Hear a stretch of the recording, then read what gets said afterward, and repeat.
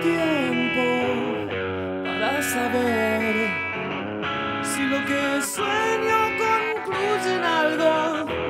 No te apures, jamás mi amor, porque es entonces cuando las horas van.